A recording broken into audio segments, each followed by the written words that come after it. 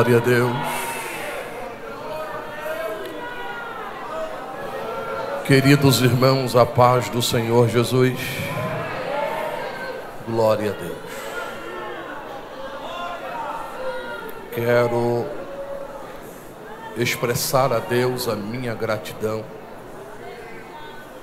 e pelo privilégio do honroso convite que foi nos facultado para poder retornar a esta casa. Casa esta em que muito preguei no início da minha mocidade. Quero agradecer ao pastor Marinaldo. Eu tenho um débito com o pastor Marinaldo, onde ele estava em Cabedelo houve uns três convites e eu não pude atendê-lo. Mas aprove a Deus no dia de hoje aqui está com os irmãos. Queridos irmãos, sem delonga, abra sua Bíblia comigo, por favor. No livro de Daniel. Capítulo 1 capítulo 5 e o capítulo de número 6. Permita-me ler quatro versículos que estão espalhados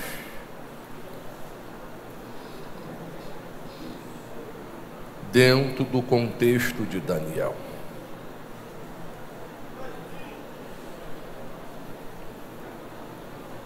Daniel capítulo 1. Glória a Deus. Por favor, dobre a sua atenção e não feche a sua Bíblia. Lhe convido a acompanhar o meu raciocínio. Glória a Deus.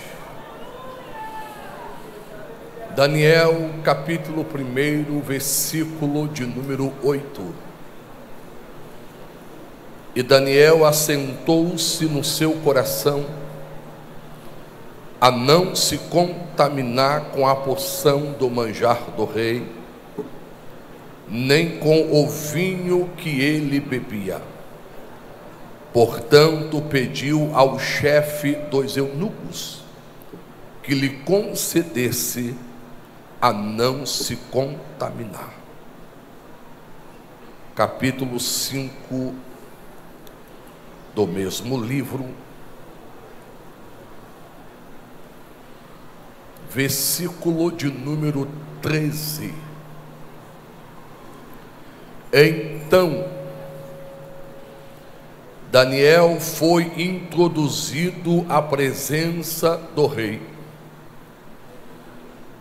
falou o rei e disse a Daniel: És tu o mesmo Daniel dos cativos de Judá que o rei meu pai trouxe de Judá? Daniel capítulo 6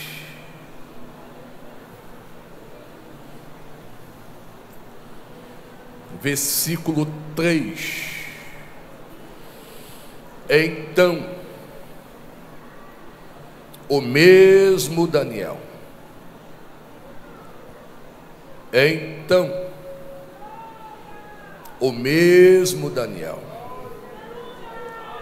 se distinguiu dentre os príncipes e presidentes, porque nele ainda havia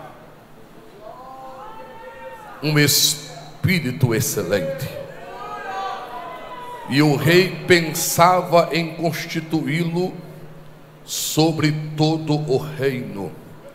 Verso 28 e último nos diz assim: E este mesmo Daniel,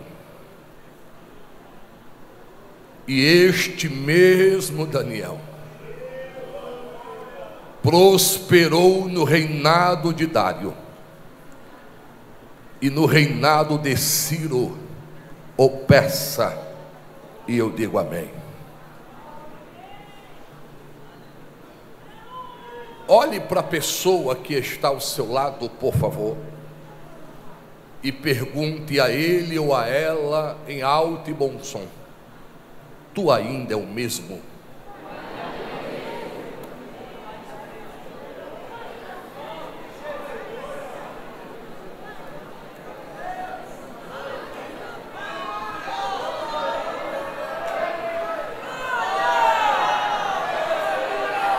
Glória a Deus. Olhe para mim, por favor.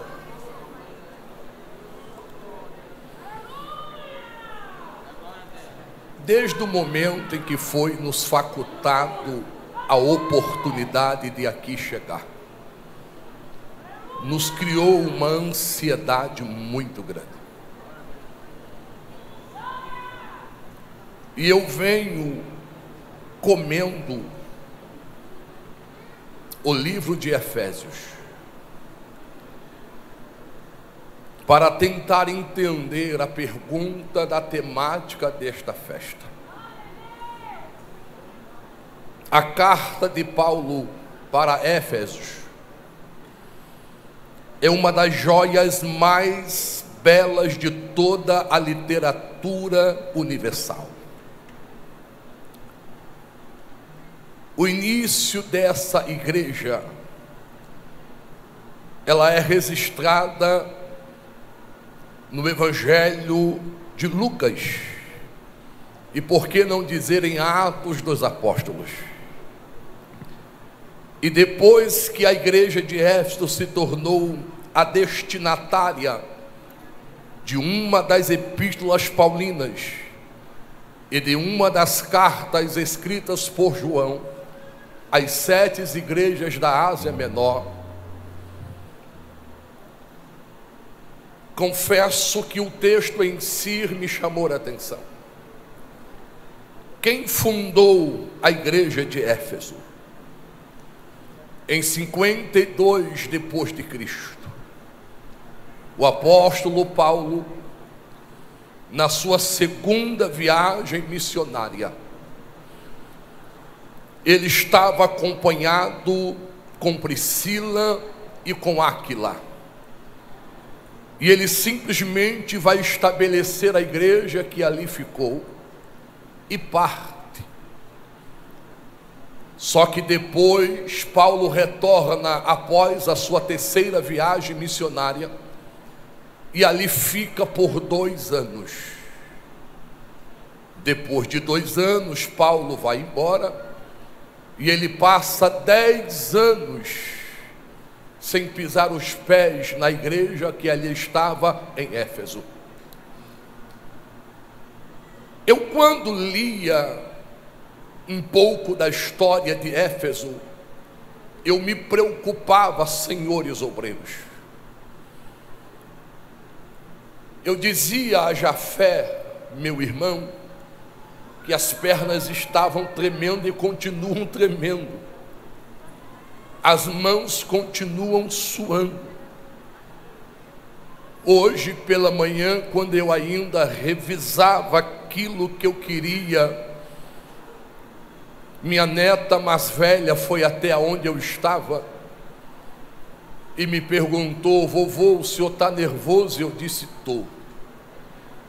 E ela perguntou: Mas o senhor prega há quantos anos? Eu disse: Há 36 anos. E ela disse: Ainda fica nervoso? E eu disse: Fico. O dia que eu não ficar nervoso, alguma coisa está errada. Porque não se prega pela prática de saber pregar. Não basta ter uma boa dicção não basta ter um mero curso teológico. Pregador que ainda recebe convite e teme e treme a quem ele serve, ele tem que colocar os joelhos ao chão e perguntar ao dono da igreja o que ela está precisando ouvir da sua parte. E quando eu olho para o contexto da vossa temática, eu aprendo que não era fácil pregar na igreja em Éfeso. Por quê, pastor Robson? Porque esta igreja foi fundada pelo apóstolo Paulo, discipulada por Áquila, doutrinada por Apolo, pastoreada por Timóteo e instruída por João. Imagine o peso de subir no altar desse. A igreja que estava acostumado com a Bíblia, com a sua essência que é pura e verdadeira, sem esse evangelho romantizado que nós estamos vendo sendo pregado hoje, sem os coaches dos séculos 21, que estão colocando a Bíblia de lado e trazendo para os nossos púlpitos livros de autoajuda e se esquece que a essência da palavra ela ainda é verdadeira. Ela ainda é pura. Se você crer comigo assim, joga a mão para cima, abra a boca e dê um glória para Jesus. Só que depois de dez anos, olhe para mim, Paulo recebe em Roma, aonde estava presa em uma masmorra, a visita de um escravo chamado Onésimo. E ele trouxe algumas problemáticas que estavam havendo na igreja em Éfeso. Paulo então escreve: mesmo estando preso, uma carta direcionada àquela igreja. Paulo vai tratar de muitos problemas. E eu até pensei que eu ia entrar nas problemáticas da igreja de Éfeso. Mas quando eu voltei-me para a pergunta que aqui está sendo feita durante estes dias, qual era a tua essência. Eu precisei ir ao dicionário Aurélio para descobrir a, o significado da palavra essência. E Aurélio vai simplesmente me ensinar que essência é aquilo que é o mais básico, é aquilo que é o mais central, é aquilo que é o mais importante essência nada mais, nada menos do que a visão de Adriano Curigama, é a característica de um ser ou de alguém. No âmbito da filosofia e da metafísica, a essência de alguém são os elementos característicos de um ser, como racionalidade, como personalidade e como identidade. Aí eu pergunto a você nesta noite: qual é a sua essência? Vou lhe perguntar de novo: qual era a sua essência? Deixa eu ver se você está acompanhando o meu raciocínio. Esta pergunta fala a respeito da sua identidade. Essa pergunta fala da consciência que você tem de si mesmo. E precisamos lembrar que não existe duas identidades iguais. Vou lhe repetir. Não existe duas identidades iguais. Cada documento expedido tem um número único. Cada documento expedido só tem uma digital. Você pode até querer imitar alguém, mas Deus lhe conhece por dentro e sabe quem é você aqui nesta noite. Você pode segurar a mão de alguém, não é pecado e nem inovação. Salomão vai dizer: se o teu coração é sincero para com o meu, dai-me a tua mão. Então segure a mão de alguém aí, por favor. Dá uma chacoalhada na mão dele e pergunte a ele qual é a sua essência.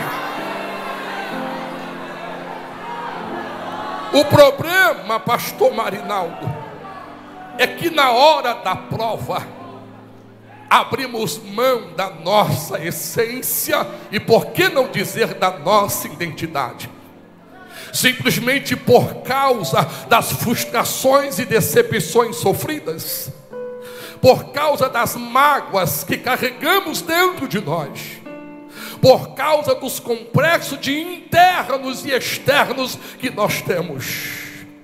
Só que não podemos esquecer que a vida acontece por meios de processos.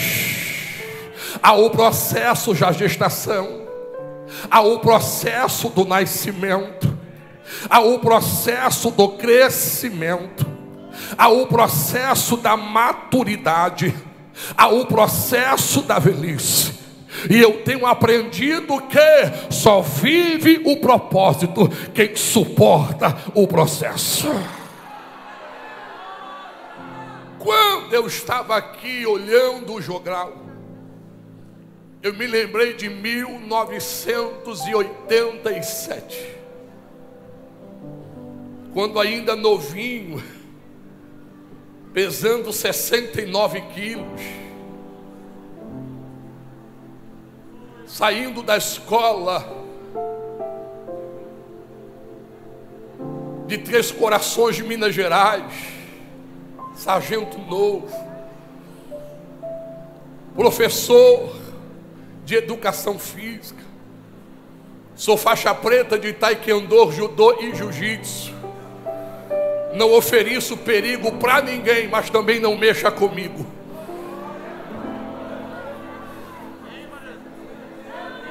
O que, que o senhor recordava? O período de recrutamento. Cada período que entrava, a educação física ficava comigo. E como eu fui criado para não gostar de crente, meu pai, um tenente da polícia, dono de um terreiro de macumba, criou a cada um dos filhos devota a um santo. E eu fui devota a São Cosme e Damião. Só que no período de recrutamento, eu fazia questão de perguntar: tem crente aqui? E os bichinhos inocentes levantavam a mão. E eu dizia para eles: vocês vão comer o pão que o diabo amassou na minha mão. A minha fama foi se espalhando. Vou lhe repetir: a minha fama foi se espalhando. Só que no recrutamento de 89, estavam entrando 149 soldados, recrutas. E eu perguntei, como de costume, tem crente aqui? E houve um silêncio na tropa. Até que o silêncio é rompido por um recruta chamado Felipe. Permissão para falar. E eu disse: saia de forma. E ele saiu, veio correndo, juntou os cascos bateu a mão na coxa e disse: Eu sou crente, lavado e remido pelo sangue do Cordeiro, que tira o pecado do mundo. E eu olhei para ele na minha frente e disse: Só tem você de crente. Ele disse: Não, tem outros aí, mas estão com medo da tua fama. E eu disse: Você não está com medo da minha fama? Ele disse: Não. Eu disse: Por quê? Porque eu conheço a quem eu sirvo. Olhe para alguém e pergunte qual era a sua essência. Vamos reformular a pergunta. Olhe dentro dos olhos de alguém e pergunte a ele ou a ela: Você conhece a quem diz servir?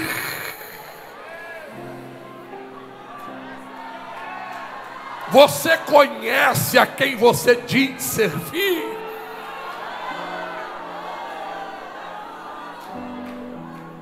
Eu disse a ele naquele dia: só você vai comer o pão que o diabo amassou na minha mão. Aí ele disse: permissão, Senhor, para fazer um gesto. Eu disse: faça. E ele fez assim, pastor Marinaldo. E eu olhei e disse: ficou doido o recruta? Ele disse: não, Senhor, olhe para o meu joelho. E eu olhei e ele disse: a partir de hoje, o teu nome estará sendo gravado como tatuagem no meu joelho. E eu estarei me ajoelhando em cima de ti, para que o Deus que eu conheço lhe incomode, lhe visite e tenha um encontro contigo.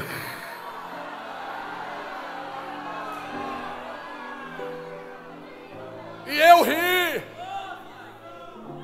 E disse a ele: oração de crente não pega em mim, porque eu tenho um corpo fechado por São Cosme e Damião.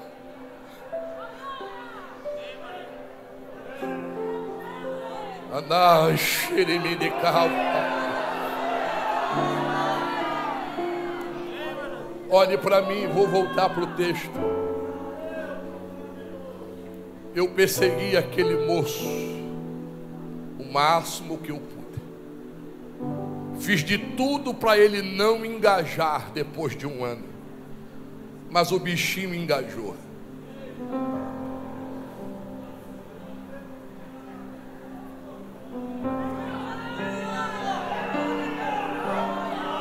Eu vou lhe dizer aqui, se tu não dá um glória, o negócio está feio.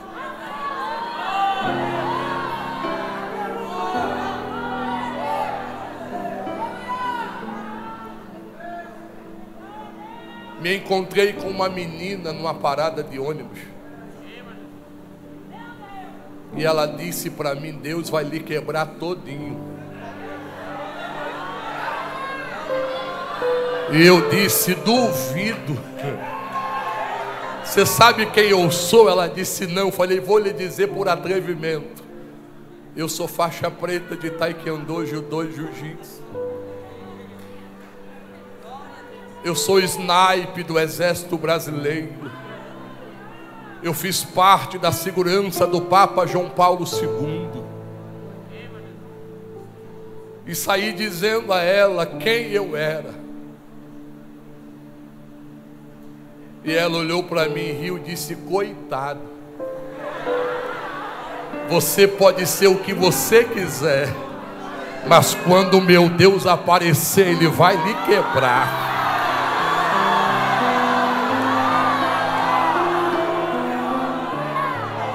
Andai no cassino. Seis meses depois eu estava quebrado. Os militares que aqui se encontram, e eu sei que aqui tem muitos, conhecem um obstáculo chamado bandeira. Uma escada de sete metros e meio na pista de PPM que é praticamente o penúltimo obstáculo a se transpassar. Subir, pastor. Sempre estudei em escola militar e sempre fui chamado de doido. Comecei a treinar com três anos de idade. Artes marciais, com 14 anos já era faixa preta em três artes. Sempre subia a bandeira, passava a perna e pulava lá de cima e caía que nem um gato. Mas naquele dia deu errado. Eu subi, quando eu pulei, me desequilibrei, porque eu vi uma mão aparecer. E esta mão me empurrou, e eu caí de costa no chão. De nove e meia da manhã, no dia 28 de agosto de 1990 e acordei às quatro e trinta da tarde. Com o coronel Santos Filhos, comandante do 16º Batalhão de Infantaria Motorizada, meu tio, com o meu pai, Tenente Aires Viana, com a minha esposa do lado e a minha mãe e o capitão que era neurocirurgião e ortopedista, capitão Ferra. Depois de meia hora voltando em si, meu pai disse: Pode dizer que ele é forte. E o médico disse: Você quebrou a sua coluna em três partes e nunca mais vai andar. Aí eu chorei e me lembrei da menina. Deus vai lhe quebrar todinho.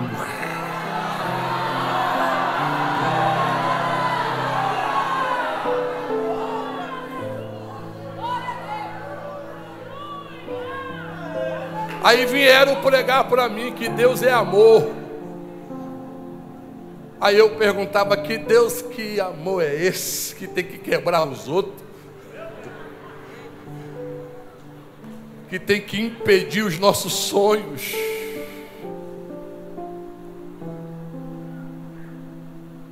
Até que a minha esposa um dia aceitou a Jesus num congresso de jovens. E o pastor Raimundo João de Santana, de saudosa memória, aquele jeitão dele, desceu do altar, saiu no meio das pessoas que estavam aceitando e abraçou somente aquela jovem e disse: Deus manda lhe dizer. E foi ele que quebrou. E que, foi, e que é ele que vai dar uma coluna nova. Mas o processo será lento, mas terá vitória no final. A última palavra foi: me leve aonde está o teu esposo. E no outro dia ele foi me visitar com o diácono Canidec Queiroz e a irmã Francineuda Queiroz. Pregaram que Jesus era amor para mim de novo. Só que as palavras do pastor Raimundo vinham com um diferencial. Qual? Unção. Vinha temperada. Até que ele disse: Você quer aceitar Jesus? Jesus tem uma coluna nova para lhe dar.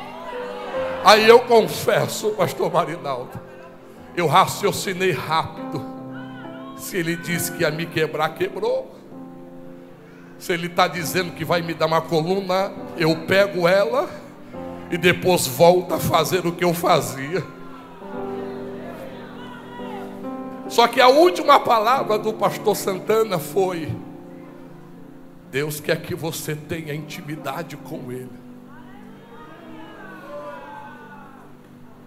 E eu com 1,85m pesando agora 49 quilos osso coberto por pele. Perguntei ao pastor como é que se tem intimidade com ele. E ele disse: leia a Bíblia. Ore. Eu disse: o que é oração? Ele disse: é conversar como eu estou conversando com você. Eu disse: aí eu vou ficar doido. Porque o Senhor eu estou vendo. E ele, quem é? E ele disse: ore ele vai se manifestar a ti. Só que eles foram embora. Minha esposa os acompanhou e eu dentro de um quarto eu disse: "Que crentes são esses que dizem que eu tenho que ler a Bíblia e não deixam uma Bíblia para mim?" Deu cinco horas, cinco e meia, seis horas da noite, eu fechei os olhos, abria um, e disse assim: Deus, eu vou dar uma de doida aqui e vou orar. Se tu está me escutando e realmente tem um plano comigo, me dá uma Bíblia de presente ainda hoje. E como eu perdi o movimento das mãos, porque não aguento mais segurar um copo d'água, mande alguém para vir ler a Bíblia para mim. Quando deu seis e quinze, o oficial que estava de serviço no sétimo HGUR bate na porta, abre, olha para mim e diz: Viana, tu agora é crente? E eu me lembrei da menina e de Felipe, e agora disse: Eu sou crente, lavado e remido pelo sangue do Cordeiro que tira o pecado do mundo. Sabia nem o que significava, mas disse: Aí o oficial de dia diz assim: é. Depois que bateu em muita gente, depois que atirou, depois que prendeu, agora é crente. Aí eu disse: Senhor, o que está havendo? Ele disse: Eu não sei. Eu sei que parou um carro lá de frente ao hospital e desceu uma descabelada e chegou na recepção com um pacote de entregue no quarto de número 7. Diga ao paciente que está lá que é resposta de oração e é presente de Deus para com a vida dele. Shaddai Obancho. Eu magrinho, deitado, disse: Abra aí. Quando ele abriu uma Bíblia daquela de capa dura, da brochura vermelha, e ele disse: É uma Bíblia. E eu chorei. Está chorando por quê? Eu disse: Não é que ele ouve as orações? Abra aí a gaveta, guarde ela para mim. Ele abriu a gaveta do lado da minha cama, colocou a Bíblia, fechou e foi embora. Deu oito, deu nove, deu dez deu onze. Eu disse, Deus, o sono está chegando e ninguém vai ler para mim, não é? Quando deu onze, quinze, o oficial bate na porta, abre a porta de novo, diz, Viana, está acordado? Eu disse, estou, vim lhe pedir um favor. O que foi? Tem um soldado que levou um tiro lá na praia do meio. E o hospital está lotado. E o único canto que tem uma cama é o seu quarto. A gente queria lhe pedir para deixar ele aqui, porque uma hora dessa a gente não queria incomodar o hospital da aeronáutica, nem da marinha, nem da polícia militar. Deixa ele aí com você, amanhã a gente tira ele. Eu disse: pode trazer o bichinho. Mas quando o bichinho veio entrando na cadeira de roda, que ele olhou para mim, eu olhei para ele, eu fiquei com vergonha, porque quem estava entrando era Felipe. Felipe, como bateu o olho em mim, o enfermeiro empurrando disse: Está aí, você vai ficar na companhia de um crente. Aí Felipe disse: Ele é crente? Ele disse: É, aceitou a Jesus e anda dizendo agora que é um dos tais. Felipe disparou em língua estranha e disse: Não foi em vão que eu orei por ele. Carai. Esqueça quem está à direita, esqueça quem está à esquerda. Joga a mão para cima, abra a boca e dê o melhor glória que você puder nesta noite. Esse aí é o teu melhor glória.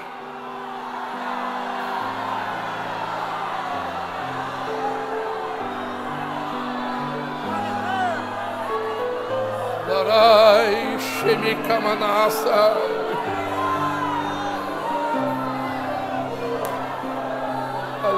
Aleluia. Aleluia.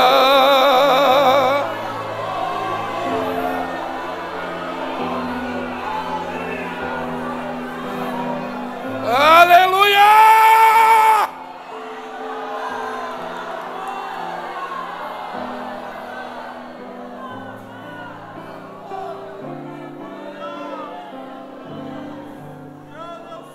Primeiro texto que eu ouvi da Bíblia Sagrada naquela noite foi Números. Felipe disse: Deus não é homem para que minta, nem filho do homem para que se arrependa. Porventura falaria o Senhor e não cumpriria.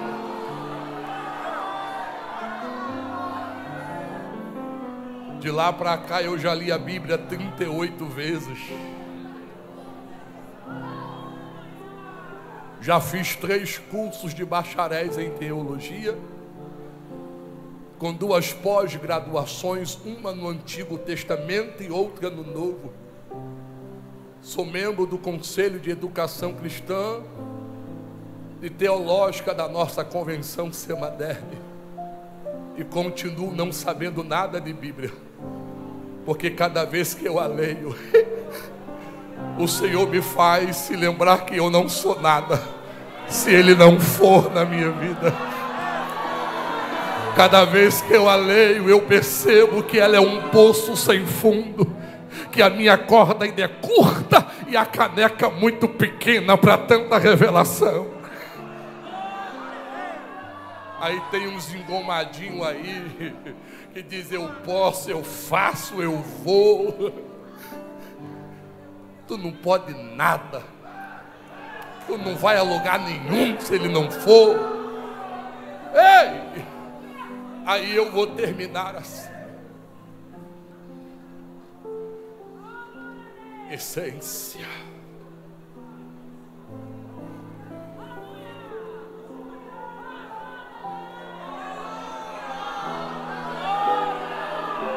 Eu disse, Deus, eu vou entrar em Efésios. Aí Deus disse, não, peraí, vou lhe dar quatro versículos.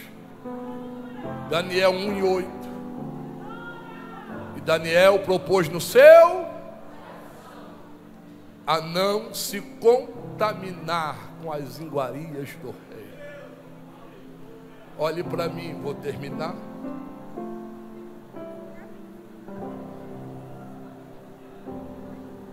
Com a morte de Josué, vai surgir a teocracia de Israel. Período este que durou cerca de 300 anos. Quantos anos? Só que após a morte de Josué, senhores obreiros, me permito olhar para vocês. O capítulo 2 do livro de Juízes e o verso 10 e 11 me causa arrepio na alma, porque lá está escrito assim: E morreu Josué, e com ele morreu toda uma geração que conhecia os feitos passados de Deus. Verso 12: Mas se levantou outra geração que não se preocupou em conhecer a quem eles diziam servir. Não, você não me entendeu. No dia 28 de agosto do ano passado, eu fiz 28 anos de pastorado, com 13 igrejas já pastoreadas, debaixo de uma promessa farei você andar o Brasil e o país pregando, mas nunca lhe darei nome, porque eu sei da onde tu veio. Filho de uma família de classe média alta, ganhei meu primeiro carro novo com 12 anos.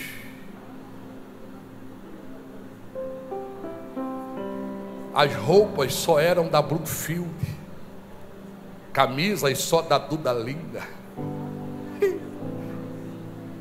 Meu último salário mínimo na carteira foi 7.842 reais. Que saudade, pastor Marinão.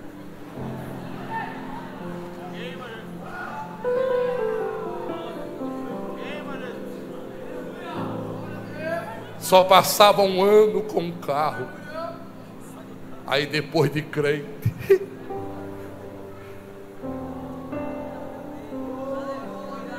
Dentro do processo, Deus disse: Vou tomar tudo. Tem um carro, quando eu via passar na rua, eu dizia assim: Eu nunca vou ter um Fusquinha. Meu pai, quando eu aceitei Jesus, que Deus me curou, meu pai me deserdou. Ele fez o inventário ainda em vida e dividiu para os meus irmãos o que tinha, olhou para mim e disse: Você vai ficar de fora porque é crente. Mas depois de três anos, dirigi a primeira igreja como auxiliar de trabalho. Uma igreja do tamanho desta, com 700 membros. 16 diáconos no púlpito, sete presbíteros, um evangelista e um pastor jubilado. E no dia da posse perguntaram ao pastor Santana: por que um auxiliar vai dirigir a igreja? E o pastor Santana disse: porque Deus mandou.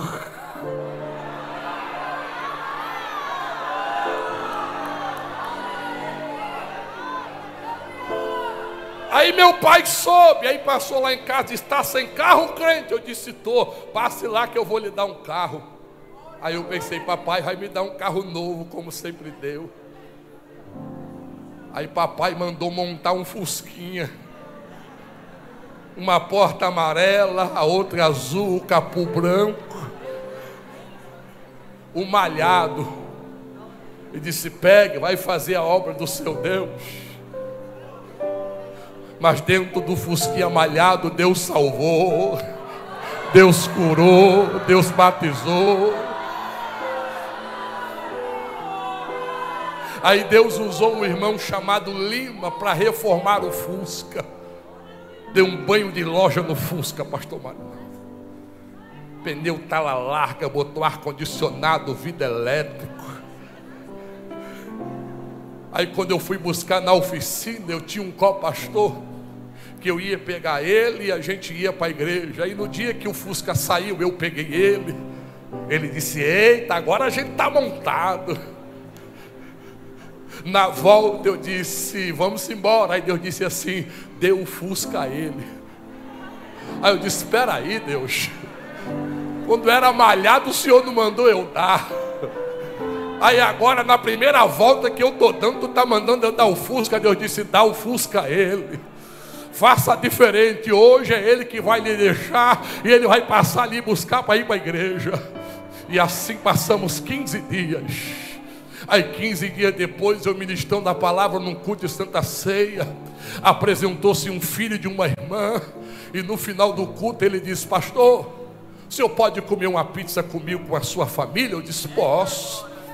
Entramos no Monza Tubarão Vinho, é, fomos para a pizzaria Chegou na pizzaria, ele disse para o meu pastor: pode ir embora, que quem vai deixar em casa ele hoje sou eu de Monza, porque hoje vai ser diferente. Ele vai me deixar em casa porque o Monza agora é dele. Deus mandou eu dar.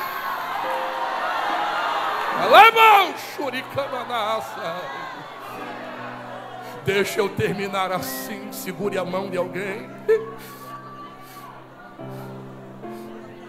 Só vive o propósito quem suporta o processo. Está segurando a mão de alguém, vamos terminar. Como é que uma geração surge e não se preocupa em conhecer a quem diz servir?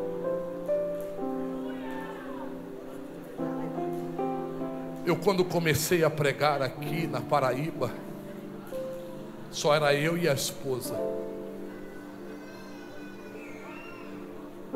Três filhos. O mais velho tem 37, o do meio 31 hoje, a minha menina tem 27. E eu já sou avô de cinco netos, ó. Eu fico olhando para os meus netos e eu fico preocupado por quem eles serão pastoreados. Como é que será a geração deles? Enquanto eu estou de pé, eu tento passar para eles o que Salomão, ou melhor, o que Davi passou para Salomão. Conhece o Deus de teu pai, serve a Ele, busque a Ele, Ele se deixará ser achado por mas o último conselho foi: esforça-te e faz a obra. Os meus netos parece, pastora, que compraram a ideia do vovô. Aí, em plena pandemia que nós vivenciamos por dois anos, chegou todo mundo lá em casa num dia de domingo. Eu trabalhei até o ano de 99 no ano de 99, Deus usou um pastor para mim e disse: Vou fechar a porta e nunca mais vou abrir, porque te quero vivendo do altar. E eu olhando para o profeta, perguntei a Deus dentro de mim, sem esboçar uma palavra na boca: Como é que é viver do altar? E o profeta tirou a carteira, pegou uma célula, amassou, colocou na mão, deu um passo e disse: Viver do altar é assim é viver de um aperto de mão. Tem aperto que vai vir 50, tem aperto que vai vir 100, mas tem aperto que vai vir 50 com a palavra que Deus te abençoe. Mas aí eu disse, mas ficou a aposentadoria. Aí Deus caçou a aposentadoria. Um coronel me viu pregando num congresso de militares em São Paulo. E ele perguntou: Quem é esse aí? E disseram ele: Era um cadeirante que sofreu um acidente e Deus curou ele. E o coronel chegou no quartel, pediu revisão de, de processo e disse: Como é que ele está aposentado por cadeirante se ele está andando aí? Brigamos por três anos, chegamos na quinta instância em Brasília e o juiz bateu o martelo: volta para cumprir os 17 anos de serviço que falta. Aí eu voltei, passei um ano e quatro meses, e quando eu fui transferido de Natal para Roraima, aí Deus interviu dizendo: peça baixa. Assine aquele documento 150 que a gente abre mão de tudo, porque quem vai cuidar de você sou eu. E eu venho tentando passar para minha prole, quem é Deus? E eu vivenciei uma experiência na pandemia terrível. Os convites sumiram, os apertos de mão cessaram.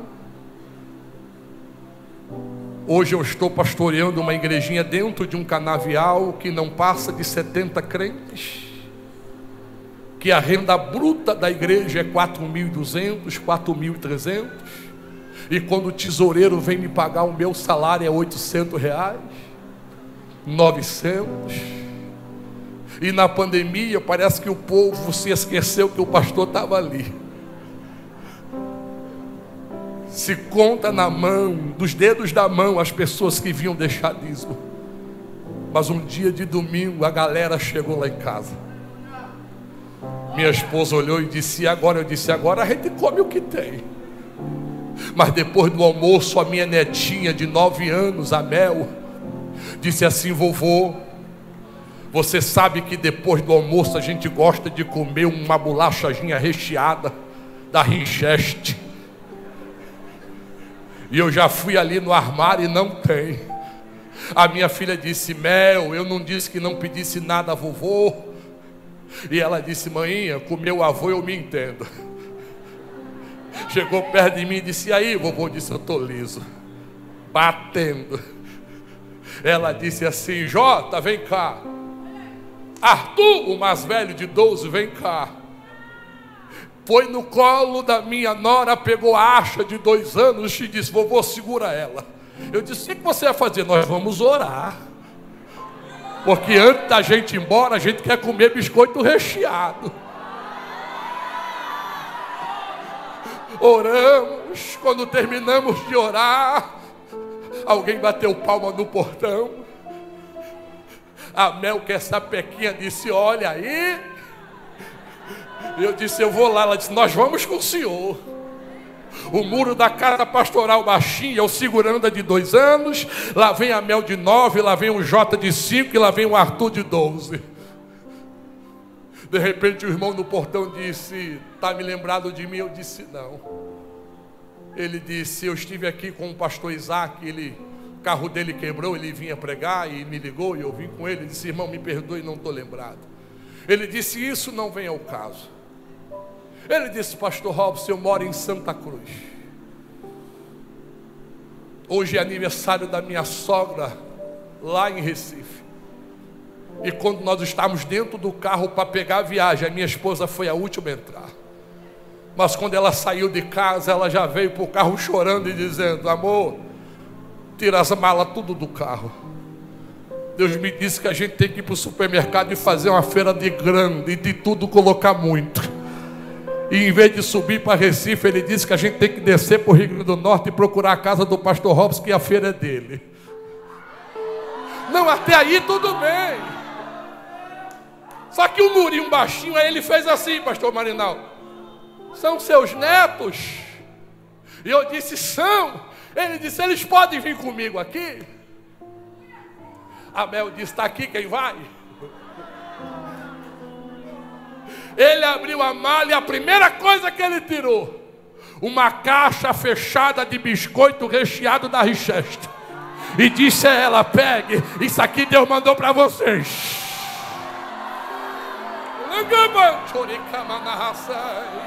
Com a permissão do pastor Marinaldo, fica de pé comigo em nome de Jesus. Dê um abraço na pessoa que está ao seu lado, não é pecado. E neste abraço, pergunte a ele ou a ela: Tu ainda é o mesmo.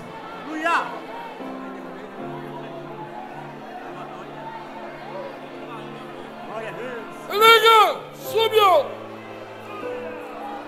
Aleluia.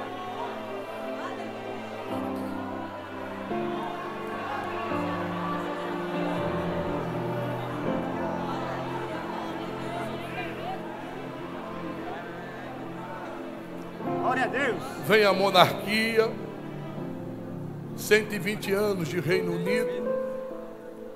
Salomão morre e assume Jeroboão. E há uma ruptura no reino. E há uma divisão. E eu termino aqui. Deus entrega. Deus faz o quê? A sua nação, o seu povo, nas mãos de Nabucodonosor. Só que Nabucodonosor ainda era príncipe. Nabopolasa, o seu pai, ainda era o rei. Nabopolasa, arquiteta, a segunda invasão de Jerusalém. E Nabucodonosor a executa. O historiador Flávio Joséfo vai nos informar que 10 mil 822 cativos estavam marchando já 800 quilômetros para a Babilônia. E foram eles alcançados por um mensageiro que disse a Nabucodonosor: sobe com pressa, porque o teu pai morreu, e tu precisas ser aclamado rei da Babilônia.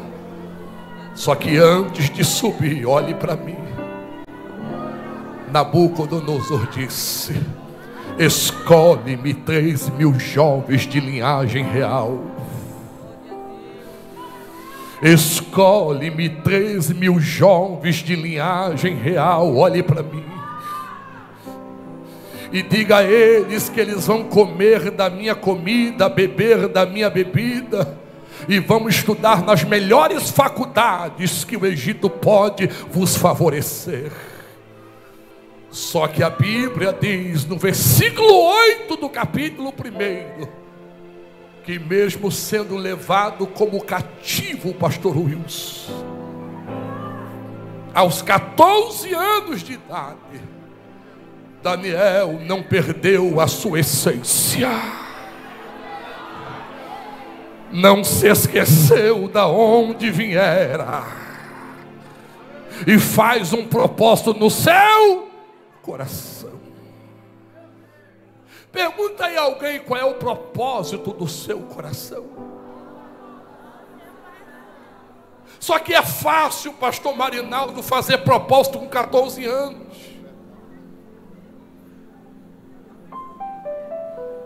Vou repetir, olhe para mim, irmão. É fácil fazer propósitos com 14 anos. Mas lembra de Daniel 5,13 que você leu comigo? Olhe para mim. Belsazar, filho de Meolá, está no trono.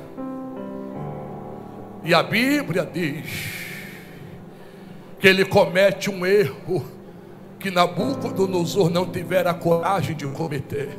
E qual foi? Levar o sagrado para uma festa mundana. E o texto dizia: enquanto se banqueteavam e tocavam no sagrado, uma mão apareceu. Escreveu quatro palavrinhas na parede. E ninguém pôde dar a interpretação que o rei queria. E o rei mandou chamar Arioque. E disse: Vai chamar a Daniel e os seus três companheiros. porque eles também fazem parte dos inteligentes. E diga a eles que eu estou os chamando para morrer.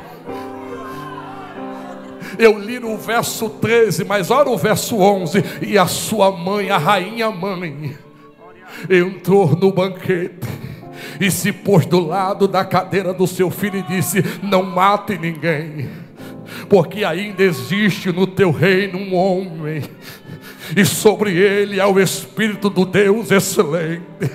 E na época do teu pai Nabucodonosor, Deus lhe deu revelações. Olha a expressão do versículo 13. Lá vem Daniel entrando. Não mais o Daniel de 1 em 8 com 14 anos. Flávio José agora vai dizer que o Daniel que entra aqui em 5 e 13 é um Daniel com 65 anos. E se tu não der glória com a pergunta do rei, o negócio está feio. E o rei olhou e disse: És tu o mesmo Daniel? Glória a Deus. Glória. Glória. És tu o mesmo Daniel? dos cativos de Judá que o rei meu pai trouxe de Judá. Olha o verso 14 em diante, e o velhinho entrando e dizendo: Eu ainda sou o mesmo. Eu ainda sou o mesmo.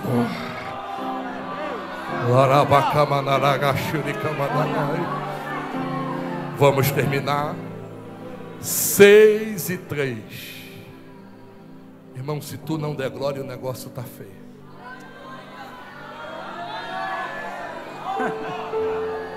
Seis e três. Seis e três. Não mais o Daniel com 14 de 1 em 8 não mais o Daniel de 5 e 13 com 65, mas o historiador Flávio Joséfo vai dizer que o Daniel de 6 e 3 estava agora com 90 anos. E olha como o escritor começa escrevendo. E então, o mesmo Daniel E então, o mesmo Daniel, qual? O de 1 e 8, o de 5 e 13, que não se vendeu aos caprichos da Babilônia, mas manteve a sua essência. Não tenho mais tempo. Olha o verso 28. Se tu não der glória, o negócio está feio não mais o Daniel de 1 e 8 com 14, não mais o Daniel de 5 e 13 com 65, não mais o Daniel de 6 e 3 com 90, mas o historiador agora vai dizer que Daniel estava com 100 anos, com 100 anos, eu vou repetir com 100 anos, e o que está registrado aqui está assim. E este mesmo Daniel prosperou no reinado de Dânio e no reinado de Ciro ou Persa, porque o Senhor era com ele. Só quem entende esta palavra, joga a mão para cima, abra a boca e dê o melhor glória que você puder. Dê um abraço e alguém diga: seja o mesmo.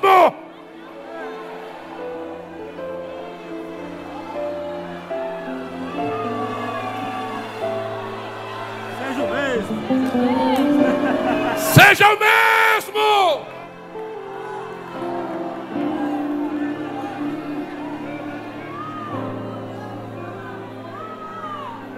Glória. Eu quero orar por vocês.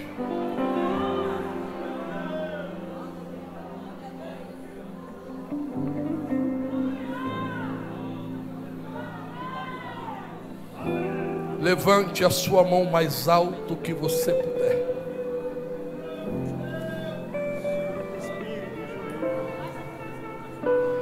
Olhe para alguém e diga: Não se assuste. Não se assuste. Porque daqui a 15 segundos. E daqui a 15 segundos. Uma porção generosa. Uma porção generosa. Da unção. Da unção. Dele. Dele. Recairá sobre ti.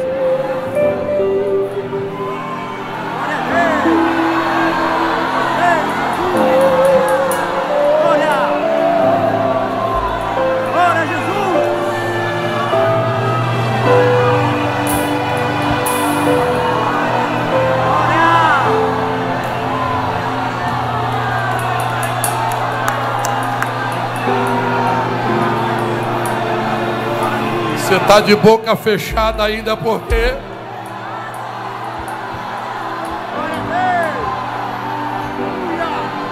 Não se assuste. 15 Halá Shurimandarasai. 14 Kamanturi Abrafute Kebihai. 13 Kanturimandarangosuriai doze, Caio recebe. Onze, Lourorio Xuriei. Dez, Labraca Suricorre Miagai. Nove, Tei Coloneusi. É oito.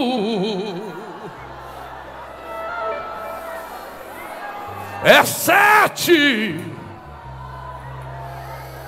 é seis, lai, é cinco, é quatro, é três. Se prepare, levante a mão, é dois. É um, receba!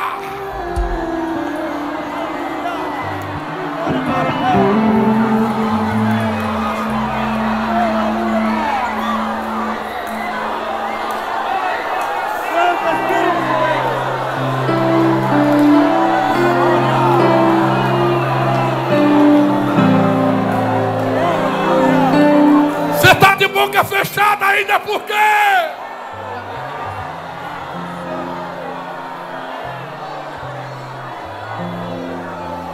seja o mesmo.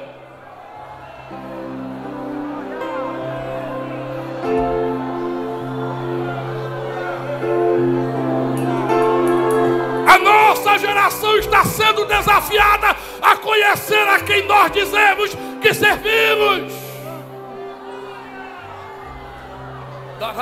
Que amar Só quem sente a presença de papai na casa, joga a mão para cima e dê o melhor glória que você puder. É o melhor, é o melhor, é o melhor.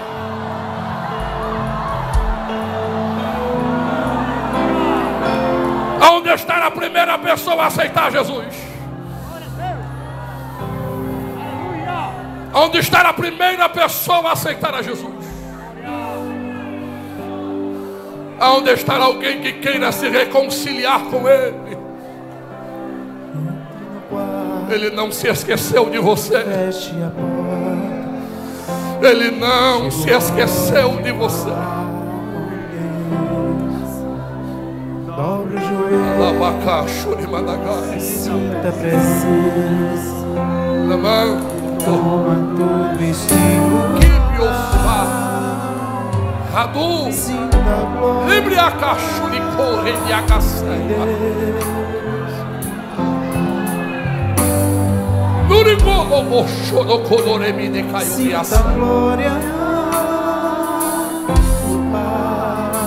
Se prepare para o que Deus vai fazer a partir de hoje dentro da tua casa através de você meu Pai. Das muitas promessas, Deus fez assim, ó. Ele tem tomado uma em evidência nesta noite e manda lhe dizer: se aquele. E durma o sono reparador. E comece a contar os dias a partir de hoje. E veja se eu não cumpri com a minha palavra. Assim diz o Senhor.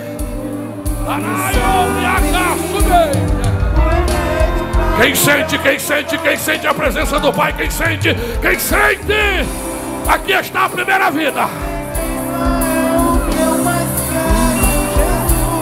Aonde está a segunda? Venha, venha.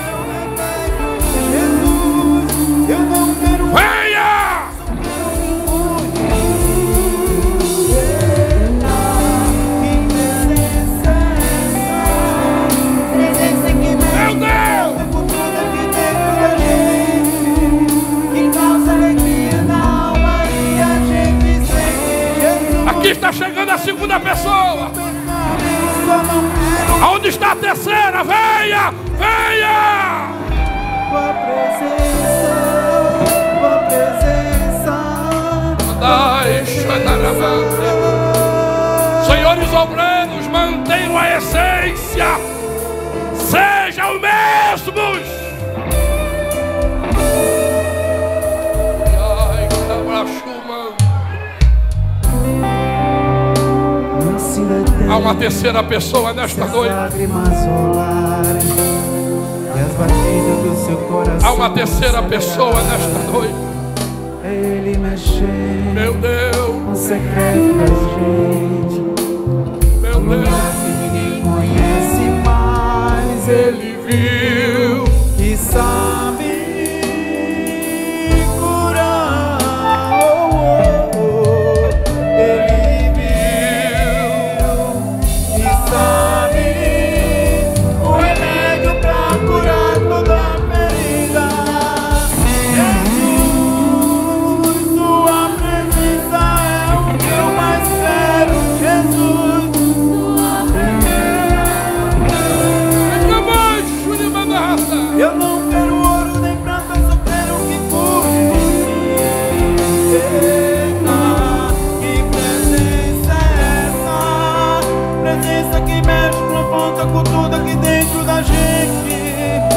Because I agree.